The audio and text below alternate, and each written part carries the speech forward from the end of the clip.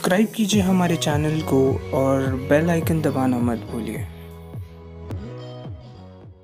इस वक्त पूरा विश्व कोरोना नाम के संकट से लड़ रहा है। इस संकट से बचने के लिए एक वैक्सीन का इजाद करना एक बहुत ही बड़ा कार्य है। हर देश अपने लिए वैक्सीन बनाने का काम कर रहा है। इस रेस में सबसे पहले अपना परचम लहराने वाला कार्य रशिया ने किया है। रशिया की कोरोना की वैक्सीन आज सुबह रजिस्टर हुई है।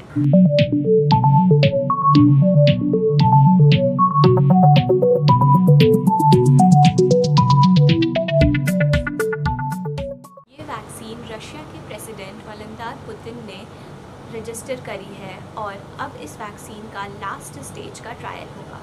अभी तक ये माना जा रहा है कि ये वैक्सीन बहुत ही इफ़ेक्टिवली तरीके से काम करती है और इम्यूनिटी बूस्ट करने का काम करती है। महीने के पहले ही रशिया ने कहा था कि इस वैक्सीन का प्रोडक्शन वो बहुत ही लार्ज स्केल पर करेगी, जिससे कि वो ये वैक्सीन हर जगह बांट सके और पहुँचा सके। लेकिन एक हफ़्ते पहले डब्ल्यूएचओ ने रशिया से रिक्वेस्ट करते हुए कहा था कि रशिया सारी गाइडलाइंस को फॉलो करे जो कि एक वैक्सीन को रजिस्टर करने में लगती हालाँकि रशिया ने पहली कोरोना की वैक्सीन लॉन्च करी है।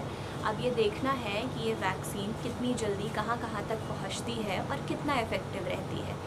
उम्मीद करते हैं कि ये वैक्सीन हमारे कोरोना संकट से लड़ने में हमारी मदद कर सके और इजाद दे हमें इससे। आज के लिए बस इतना ही। आगे की खबरों के लिए जुड़े